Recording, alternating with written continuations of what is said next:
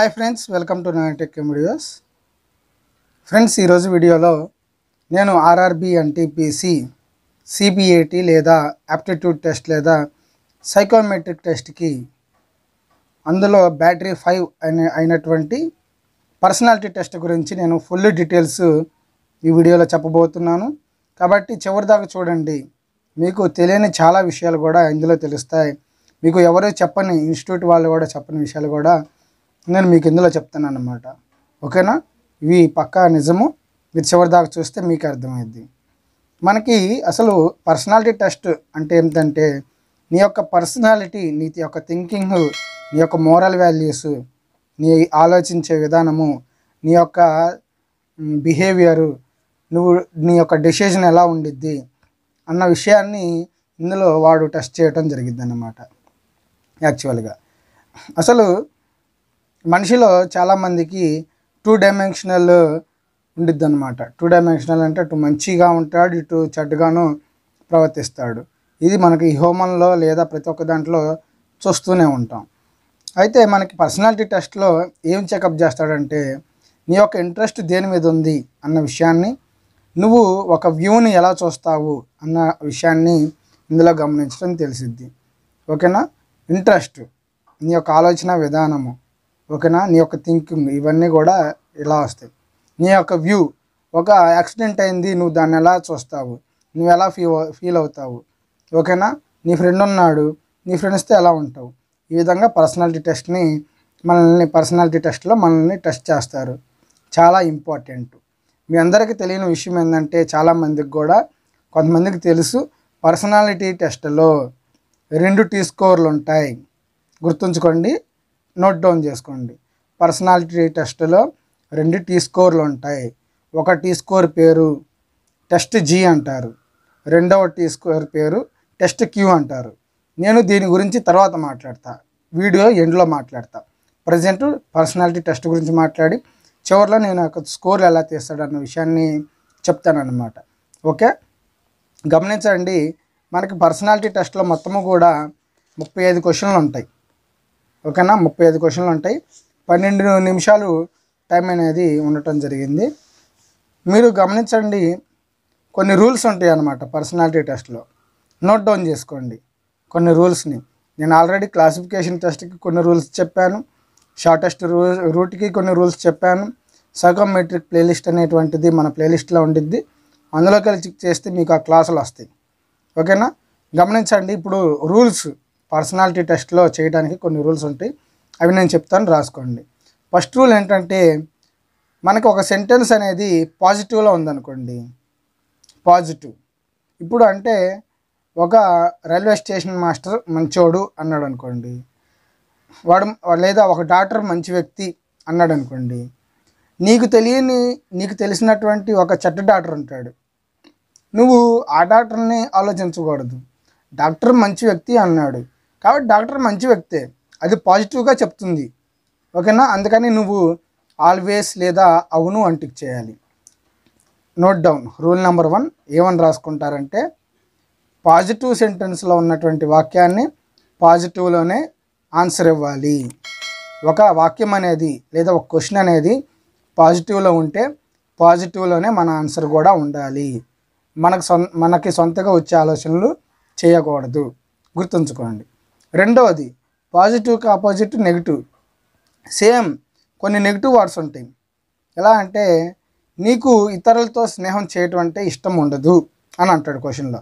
అవును కాదు అప్పుడప్పుడు చేయటం ఇష్టం అని. లేదా నీకు యొక్క నీకు మందు తాగటం అంటే ఎక్కువ ఇష్టం అంటాడు. ఒకవేళ మందు తాగేవాడికి ఇష్టమే వాడేంది? అవును అంటిక్ చేస్తాడు. అలా చేయకూడదు. మందు తాగటం అనేది సమాజంలో ఒక నెగిటివ్ ప్రభావం అన్నమాట. కాబట్టి మనం ఏం చేయాలంటే నెగిటివ్ సెంటెన్స్కి రెండవ రూల్ రాసుకోండి. నెగిటివ్ వాక్యానికి నెగిటివ్ రూపంలోనే ఆన్సర్ ఇవ్వాలి. అంటే నో అనగాని నెవర్ అని కానీ ఆన్సర్ ఇవ్వాలి. నేను ముందు తాగను. నేను బూతులు తిట్టను. నాకు గొడవలకు వెళ్తామంటే ఇష్టం ఉండదు. ఓకేనా? ఈ విధంగా నో నో అని టిక్ చేయాల్సి ఉంటుంది ఓకేనా? ఇది పాజిటివ్కి పాజిటివ్గా ఆన్సర్ ఇవ్వాలి. నెగిటివ్కి నెగిటివ్గా ఆన్సర్ ఇవ్వాలి. ఇంకా మూడవ రూలు యూనివర్సల్ రూల్ అని ఉండిద్ది. Universal rule. ఎలా అంటే అదే ఇప్పుడు మనం చిన్నప్పటి నుంచి చదువుకునేదే సూర్యుడు తూర్పున ఉదయిస్తాడు భూమి గుండ్రంగా ఉంది. ఇలా కొన్ని కొన్ని డైలాగ్స్ ఉంటాయి అన్నమాట ఇప్పుడు తప్పు తప్పే. తప్పు తప్పు కాదా అంటాడు. తప్పు తప్పే. నీ దృష్టిలో తప్పు తప్పేనా? తప్పు కాదా? అట్ట అడుగుతాడనమాట తప్పు అనేది తప్పే. ఎక్కడైనా తప్పు తప్పే. అది ఒక యూనివర్సల్ రూల్. తప్పు అనేది తప్పే. కాబట్టి రైట్ ఆన్సర్. ఆల్వేస్ లేదా ఎస్ అని చెప్పాలి. తప్పుని నువ్వు క్షమి తప్పుని తప్పుగా చూస్తావు తప్పుని తప్పుగా చూడవు. ఇలా ఇచ్చాడు అనుకోండి తప్పుని తప్పుగా చూడడం అనేది తప్పు. తప్పు ఎల్లప్పుడూ కూడా తప్పే. ఇది యూనివర్సల్ అన్నమాట. ఈ విధంగా అడుగుతాడు.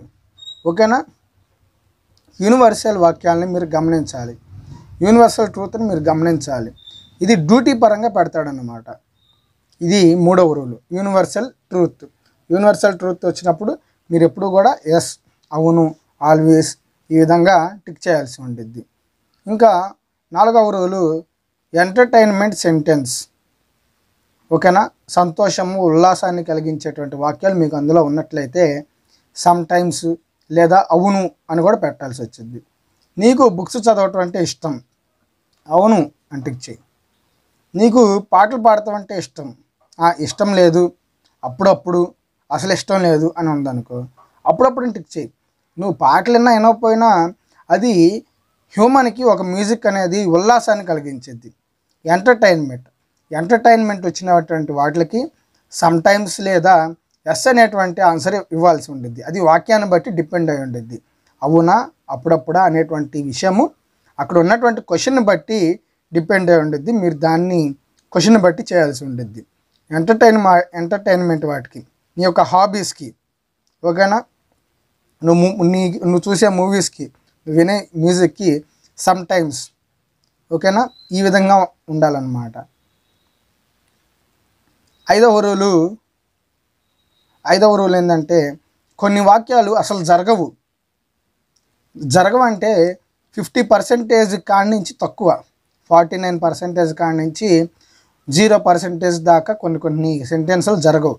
ఇప్పుడు నేనున్నాను మనిషి గాల్లో ఎగురుతాడు మనిషి సొంతగా గాల్లో ఎగురుతాడు అవునా అంటాడు. అవునా కాదా? ఎగరడు. Wrong answer. వాటికి మనం నో అని చెప్పాలి. ఓకేనా? నెవర్ అని చెప్పాలి. మనిషి గాల్లో ఎగరలేడు సొంతగా. అది ఇక దేవుడు పెడితే కానీ ఆ విధంగా అన్నమాట. కొన్ని కొన్ని ఫిఫ్టీ ఫిఫ్టీ ఛాన్సెస్ ఉంటాయి. ఓకేనా? ఫిఫ్టీ ఫిఫ్టీ ఛాన్సెస్ అంటే ఏంటంటే మనుషుల్లో కొంతమంది రెండు వందల యాభై కిలోలు ఉంటారు అంటాడు. మనుషుల్లో కొంతమంది రెండు వందల యాభై కిలోలు ఉంటారు అంటాడు. అంటే ఫిఫ్టీ ఫిఫ్టీ. ఉండొచ్చు ఉండకపోవచ్చు. మనం గమనించినట్లయితే కొంతమంది మూడు వందల యాభై పౌండ్లు ఉన్నారని మూడు వందల పౌండ్లు ఉన్నారని ఇంత పెద్ద ఇంత లావు ఉన్నాడని అని మనం ఎక్కడో చోట వింటానే ఉంటాం. ఎక్కడో రేర్గా ఉండిద్ది. అదేంటనమాట ఫిఫ్టీ ఫిఫ్టీ ఛాన్సెస్. మనం వాటికి సమ్టైమ్స్ అని కానీ ఏదైనా అక్కడ ఉన్నటువంటి ఆప్షన్ని బట్టి మనం టిక్ చేయాల్సి ఉంటుంది కొన్ని కొన్ని హండ్రెడ్ పర్సెంటేజ్ జరుగుతాయి. ఎలా అంటే ఇప్పుడు మొక్క మనకి పండ్లు ఇస్తుంది అంటాడు. మొక్క మనకి పండ్లు ఇస్తున్నాయి ఆక్సిజన్ ఇస్తాయి. ఇవి ఇటువంటి క్వశ్చన్లు హండ్రెడ్ పర్సెంటేజ్. లేదు కొన్ని మొక్కలు ఎందుకు ఎత్తాయి అని అనుకోకూడదు. కొన్ని మొక్కలు ఇస్తున్నాయి. మొక్కల నుంచి మనము ఆక్సిజన్ తీసుకుంటాము. కొన్ని మొ ఫలాలు తింటాం. అది హండ్రెడ్ పర్సెంటేజ్ అలా అని అన్ని మొక్కలు ఏవో కదా పిచ్చి మొక్కలు ఉంటాయి కదా కొన్ని చెడ్డ మొక్కలు ఉంటాయి కదా అట్ట ఆలోచించకూడదు అనమాట నీ యొక్క థింకింగ్ నెగిటివ్ క్వశ్చన్లో కూడా పాజిటివ్గా వెళ్ళాలి. ఓకేనా? అది హండ్రెడ్ పర్సెంటేజ్ నెగిటివ్నా అని మనం చెక్ చేసుకున్న తర్వాత ఆన్సర్ ఉండిద్ది. ఈ రూల్స్ని మీరు గమనించండి. అప్పుడు పర్సనాలిటీ టెస్ట్లో మీకు మంచి స్కోర్ వచ్చింది టెస్ట్ క్యూలోనూ వచ్చిద్ది టెస్ట్ జీలోనూ వచ్చిద్ది. రెండిట్లో మంచి స్కోర్ సంపాదించుకోగలరు. నాకు తెలిసినటువంటి ఒక బ్రదరు గ్రూప్ డీలో వర్క్ చేస్తున్నారు. ఆ యొక్క బ్రదర్ రిలేటివ్సే మాకు. అతనికి టెస్ట్ క్యూలు అనే వల్ల ఫిఫ్టీ మార్క్స్ దాకా వచ్చినాయి. ఫిఫ్టీ. టెక్స్ట్ జీలో అనే వల్ల టెస్ట్ జీలో టీ స్కోర్ వచ్చేసరికి థర్టీ ఎయిట్ వచ్చినాయి. ఒక దాంట్లో ఫిఫ్టీ రావటం అయింది ఒక దాంట్లో థర్టీ ఎయిట్ రావటం అయింది మిగిలిన వాటిలో సిక్స్టీ సిక్స్టీ సిక్స్టీ వచ్చినాయి. ఇందులో ఒక్క దాంట్లోనే థర్టీ ఎయిట్ వచ్చినాయి. కాబట్టి ఆలోచించండి. మీరు కూడా పర్సనాలిటీ టెస్ట్లో మీరే కాదు. చాలామంది కూడా ఫెయిల్ అయ్యేది ఫస్ట్ పర్సనాలిటీ టెస్ట్లో ఫెయిల్ అవుతారు. రెండవది క్లాసిఫికేషన్ టెస్ట్లో ఫెయిల్ అవుతారు. మీరు ఆ యొక్క విషయాన్ని గమనించండి. ఇంకా ఒక స్టేషన్ మాస్టర్గా మీరు జాయిన్ అవ్వబోతున్నారు కదా మనకి కొన్ని రూల్స్ ఉంటాయి. జనరల్ అండ్ సబ్సిడరీ రూల్స్ అని జి అండ్ ఎస్ఎం అంటారు. జనరల్ రూలు సబ్సిడరీ రూల్ అని. అలాగే ఒక మనిషికి కొన్ని రూల్స్ ఉంటాయి. అదే వాటిని మీరకూడదు. కొన్ని రూల్స్ ఎలా అంటే జాతీయ గీతం పాడేటప్పుడు నువ్వు నుంచుంటావా? అంటాడు. నువ్వు నుంచున్నా నుంచోపోయినా ఒక రూల్ ఉంది. జాతీయ గీతం పాడేటప్పుడు ఖచ్చితంగా నుంచోవాలని. ఓకేనా? రూల్స్ని మనం పాటించాలి. ఒక ట్రాఫిక్లో నువ్వు రోడ్డు మీద నడిచేటప్పుడు జీబ్రా క్రాస్ నుంచి దాటుతావా? ట్రాఫిక్లో నుంచి దాటుతావా? సైడ్ రోడ్ నుంచి దాటుతావా? అంటాడు. మనకి జీబ్రా అనేది లేకపోతే ఏదో ఒక ఆన్సర్ టిక్ చేయొచ్చు. కానీ జీబ్రా క్రాసింగ్లో ఒక వ్యక్తి నడవాల్సి ఉండేది రోడ్డుని క్రాస్ చేయాల్సి ఉండేది అది రూలు. ఓకేనా? లేదా సైడ్ వాక్స్ ఉంటాయి. అటు రూలు. అంతేగాని రూల్స్ ఉన్నటువంటి చోట మనము మీరకూడదు. గుర్తుంచుకోండి. Don't cross the rules against rules. ఓకేనా? రూల్స్ ఉన్నటువంటి విధంగానే మనం పాటించాలి. రూల్స్కి వ్యతిరేకంగా వెళ్ళకూడదు. ఇది ఒక రూలు. గుర్తుంచుకోండి. ఇంకా టీం వర్క్ ఉండిద్ది అనమాట next rule team work. Team work అంటే ఏంటంటే ఒక రైల్వే వ్యవస్థ అనేది ఒక టీం వర్క్ లాంటిది. ఎలా అంటే స్టేషన్ మాస్టర్ సిగ్నల్ ఇస్తే దానికి అనుగుణంగా ఎమ్మటనే ఏఎల్పి ట్రైన్ డ్రైవరు వెళ్తాడన్నమాట. రైల్వే అనేది ఒక team work. Railway AL station master signal ఇస్తే ఏఎల్పి ఎమ్మటనే ట్రైన్ నడుపుతాడు. ఆ ఆ గుణంగా గుడ్స్ గార్డ్ కూడా సిగ్నల్ ఇచ్చేస్తాడు ఏఎల్పికి. తర్వాత రై రైలు వెళ్తానికి రైలు పట్టాలను చూడటానికి గ్రూప్ డి మెంబర్స్ ఉంటారు. ఇంకా టికెట్లు చెక్ చేయడానికి టికెట్ కలెక్టర్ ఉంటాడు. ఈ విధంగా సిగ్నల్స్ మెయింటైన్ చేయటం ప్రతి ఒక్కటి ఒక టీం వర్క్ అన్నమాట రైల్వే అనేది. కాబట్టి నువ్వు నువ్వు నీ టీం వర్క్తో ఎలా ఉంటావు అన్న క్వశ్చన్లు ఒక రెండు మూడు వస్తాయి టీం వర్క్ మీద. దానికి అనుగుణంగా మీరు చేయాల్సి ఉండేది. ఎందుకంటే రైల్వే అనేది ఒక టీం వర్క్. నీవు నీ టీమ్స్తో ఎలా ప్రవర్తిస్తావు? ఓకేనా? నీ టీం మెంబరు ఒక తప్పు చేస్తే నువ్వు ఎలా డీల్ చేస్తావు? ఈ విధంగా వస్తాయి అన్నమాట క్వశ్చన్లు. అందుకని మనం ఒక మనకున్నటువంటి ఒక రూలు టీం వర్క్. ఇంకొకటి ఇంకొక రూల్ వచ్చేసరికి మోరల్ వాల్యూస్. కొన్ని మోరల్ వాల్యూస్ వాల్యూస్ ఉంటాయి. ఎలా అంటే ఒక తప్పు చేసినా సరే అతను క్షమించే గుణం ఉండాలి. అది మోరల్ వాల్యూ. ఇప్పుడు ఎలా అంటే గ్రూప్ డి అతను ఒక అతను ఉన్నాడు. అతను ట్రాక్ మెయింటైన్ చే చే- చేస్తాడు. ట్రాక్ మెయింటైన్ చేసేటప్పుడు ఎక్కడన్నా పగుళ్ళు ఉన్నాయి ట్రాక్లో. అది అతను గమనించుకోవాలా. ఏదైనా జరిగిందనుకో ఆ ప్రమాదం వచ్చేసరికి స్టేషన్ మాస్టర్ మీదకి వెళ్ళిద్ది. స్టేషన్ మాస్టర్ మీదకి ఎందుకు వెళ్ళిద్ది? అతనికి కొంతవరకు రూల్ ఉండిద్ది. ఆ స్టేషన్ దగ్గరలో జరిగినట్లయితే ప్రతి ఒక్కటి కూడా స్టేషన్ మాస్టర్ మీదే పడిద్ది. అందుకని కానీ అక్కడ చెకప్ చేయాల్సింది ఎవరు? గ్రూప్ డి వ్యక్తి. గ్రూప్ డి అనే గ్రూప్ డిలో పనిచేసే వ్యక్తి "ఆ, నాది కాదుగా. ఏముందిలే? జీతం వస్తుంది. చూడాలా నేను. ఏముందిలే అనుకుంటే ఎన్నో వేల మంది చనిపోయే అవకాశాలు ఉంటాయి. ఓకేనా? ఏదో రెస్ట్ తీసుకుందాం. ఏదో తిరిగి వద్దాం. ఓకేనా? ఒక రెండు మూడు కిలోమీటర్లు నడవాల్సి ఉంటుంది ట్రాక్ మీద. వాళ్ళు నడిచి చక్కగా కనుక చెకింగ్ చేసి ఎక్కడన్నా పగుళ్ళు ఉంటే ఒక వాటిని బాగు చేయకపోతే ఒక రైలు పడిపోయే అవకాశం ఉండిద్ది. పెద్ద యాక్సిడెంట్ అయ్యే అవకాశం ఉండిద్ది. వాళ్ళందరూ కూడా జాగ్రత్తగా పనిచేస్తేనే అతనికి మోరల్ వాల్యూ ఉండాలి. అమ్మో స్టేషన్ మాస్టర్ది బాధ్యత. దాన్ని సరి చేయాల్సిన బాధ్యత నాదే. స్టేషన్ మాస్టర్ ఒక గంటలో బా- పని చేయమన్నాడు. నేను ఒక గంటలో చేసేయాలి. ఓకేనా? పై ఆదేశాలు నిర్వర్తించాలి.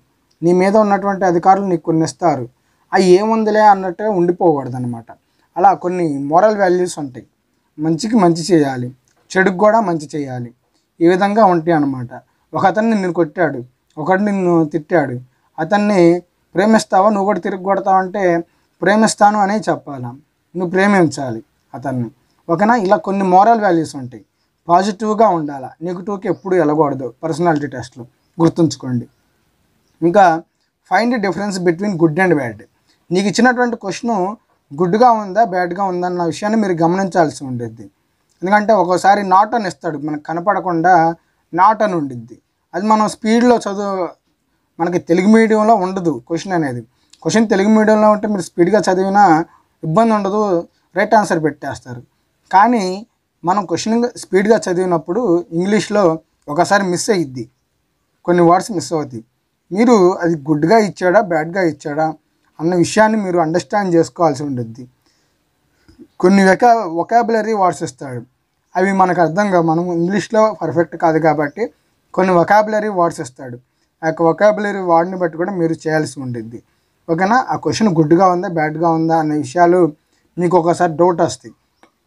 కాబట్టి ఈ రూల్స్ అన్నిటిని కూడా మీరు కనుక పాటించినట్లయితే మీకు మ్యాక్సిమం థర్టీ ప్లస్ స్కోర్ వచ్చిద్ది. ఓకేనా? ఇప్పుడు రావట్లేదని కాదు వచ్చిద్ది. కానీ మీకు కొన్ని కొన్ని మిస్టేక్లు జరుగుతూ ఉంటాయి. ఆ యొక్క మిస్టేక్స్ని పూడ్చుకోవటానికి స- కప్పెట్టుకోవటానికి ఆ యొక్క మిస్టేక్స్ని మీరు చేయకుండా ఉండటానికి ఒక యొక్క రూల్స్ నేను చెప్పడం జరిగింది. చాలామంది నేను రైల్వే ఎంప్లాయ్ అనుకుంటున్నారు.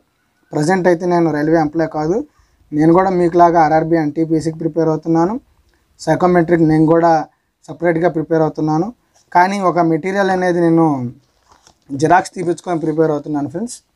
ఓకేనా? ఒక మెటీరియల్ని నేను ప్రింట్ తీపించుకొని ఆ యొక్క మెటీరియల్ని ప్రిపేర్ అవుతూ ఆన్లైన్లో ఎక్కడైనా టెస్టులు ఉంటే టెస్టులు రాస్తూ వాటి మీద కొంచెం అవగాహన పెంచుకొని ఓకేనా ఇట్లా క్లాస్ చేయాలని చెప్పి నేను ఆన్లైన్లో సెర్చ్లు చేసి ప్రతి ఒక్కటి దేవులాడి మీ అందరికి కూడా నేను ఈ- ఈ యొక్క సలహాలు ఇవ్వటం జరుగుతుంది అనమాట అంతేగాని నేనైతే రైల్వే ఎంప్లాయీని కాదు ఎక్కడ నేను డ్యూటీ చేయట్లా. Okay?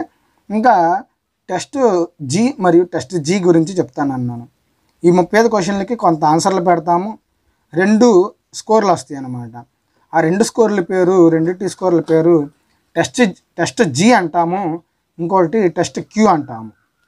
Test G test Q. Test G అంటే ఏం లేదు. దృష్టి అభిరుచి. నీ యొక్క ఒక్క నిమిషం అండి. మనము టెస్ట్ జీ టెస్ట్ క్యూ అని ఉండిద్ది. టెస్ట్ జీలో ఏం చూస్తాడంటే నీ యొక్క ఇంట్రెస్ట్ దేని మీద ఉంది అనేది చూస్తాడు. నీ యొక్క ఫీలింగ్స్ దేని మీద ఉంది అనేది చూస్తాడు. నీ యొక్క ఆలోచన విధానం ఎలా ఉందనేది చూస్తాడు. ఓకేనా? టెస్ట్ క్యూలో నీ యొక్క దృష్టికోణం వ్యూ పాయింట్ ఓకేనా? ఒక నీ ముందలకి ఒక సమస్య వచ్చింది. దాన్ని ఎలా పరిష్కరిస్తావు? నీ కింద ఉన్నటువంటి వ్యక్తుల్ని ఓకేనా? పాయింట్స్ మ్యాన్ కానీ ప్రతి గ్రూప్ డి వ్యక్తులు నీ కింద ఉంటారు. వాళ్ళని ఎలా సమర్థిస్తావు? వాళ్ళని ఎలా చూసుకుంటావు? వాళ్ళ మీద అధికారం ఎలా చెలాయిస్తావు? వాళ్ళకి ఎలా కోఆర్డినేషన్ చేస్తావు? ఓకేనా? ఒక సేఫ్టీ ఉండిద్ది. సిగ్నల్ మెయింటెనెన్స్ ప్రతి ఒక్కటి స్టేషను నీ మీద బాధ్యత ఉండిద్ది. వాటిని ఎలా నిర్వర్తిస్తావు? ఏ విధంగా ఉండిద్ది అనమాట టెస్ట్ జీ టెస్ట్ క్యూ గురించి నేను ఇప్పుడు కొన్ని పాయింట్స్ చెప్తాను. నోట్ డౌన్ చేసుకోండి. టెస్ట్ జీ అంటే first rule rule and conscious అంటారు. Rule and conscious. అంటే మనం అలర్ట్గా ఉండటం అన్నమాట. అలర్ట్గా ఉండటం. నువ్వు వచ్చినటువంటి ప్రమాదానికి ఎలా అలర్ట్గా సందిగ్ధం పడి ఉంటావు అన్నది ఫస్ట్ రూల్ అండ్ కాన్షియస్ అంటారు. దీని మీద ఇది టెస్ట్ జీలోకి వచ్చింది. టెస్ట్ జీలో రెండవది కాన్షియస్నెస్ అంటారు. అంటే మోరల్ వాల్యూస్. Moral values. నేను చెప్పా కదా కొన్ని రూల్స్. మోరల్ వాల్యూస్ మీద క్వశ్చన్ క్వశ్చన్లు అడుగుతాడు. ఆ క్వశ్చన్లు మీకు టెస్ట్ జీలోకి వచ్చేస్తాయి. టెస్ట్ జీలో యొక్క మార్క్స్ యాడ్ అవుతాయి. మూడవది కన్ఫార్మింగ్. అంటే తెలుగులో అనుగుణంగా అనుకోండి. ఒక సమస్య వస్తే దానికి అనుగుణంగా నువ్వేమి పరిష్కారం చేస్తావు? ఈ విధంగా. నాలుగవ rule rule bound. Rule bound అంటారు అంటే నియమానికి కట్టుబడి ఉండటం. చెప్పా కదా కొన్ని మోరల్ వాల్యూస్ ఉంటాయి వాటికి మనం వ్యతిరేకంగా వెళ్ళకూడదు. కొన్ని రూల్స్ ఉంటాయి వాటికి వ్యతిరేకంగా వెళ్ళకూడదు. అది తప్ప రైటా తర్వాత సంగతి. కొన్ని రూల్స్ ఉంటాయి. ఆ కొన్ని రూల్స్కి వ్యతిరేకంగా మనం వెళ్ళకూడదని నేను మీకు రూల్స్లో చెప్పాను దానికి సంబంధించినవి కూడా మీకు టెస్ట్ జీలోకి వస్తాయి. ఇంకా డ్యూటీఫుల్ విధి నిర్వహణ. నీ యొక్క విధిని నువ్వు ఎలా నిర్వర్తిస్తావు? ఓకేనా? అనేటువంటి దాని మీద టెస్టింగ్లో వచ్చినటువంటి క్వశ్చన్లు ఇప్పుడు నేను చెప్పినటువంటి ఒక ఐదు పాయింట్లు. అంటే అది నీతి నియమాలు లేదా అలర్ట్ మోరల్ వాల్యూస్ అనుగుణంగా వర్క్ చేయటము నియమానికి కట్టుబడి ఉండటము విధి నిర్వహణ. ఓకేనా? ఇవన్నీ కూడా టెస్ట్ జీలోకి వస్తాయి. అడిగినటువంటి క్వశ్చన్లు. దృష్టికోణం టెస్ట్ క్యూ అంటారు. దీనికి పర్ఫెక్షనిస్ట్ అనమాట ఫస్ట్ ఇది పర్ఫెక్షనిస్ట్ అంటే పరిపూర్ణత కలిగి ఉండటం.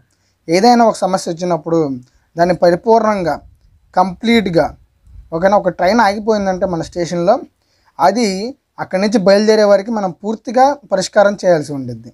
పర్ఫెక్ట్ లిస్ట్ అన్నమాట. రెండవది ఆర్గనైజేషన్.